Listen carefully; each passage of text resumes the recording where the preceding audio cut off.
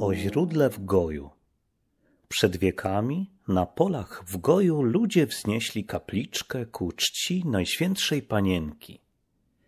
W tych czasach żyła w Wiśniczu hrabina, która miała psa przyjaciela.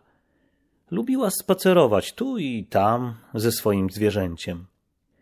A było w Goju źródełko, z którego biła czysta i zdrowa woda o uzdrawiającej mocy.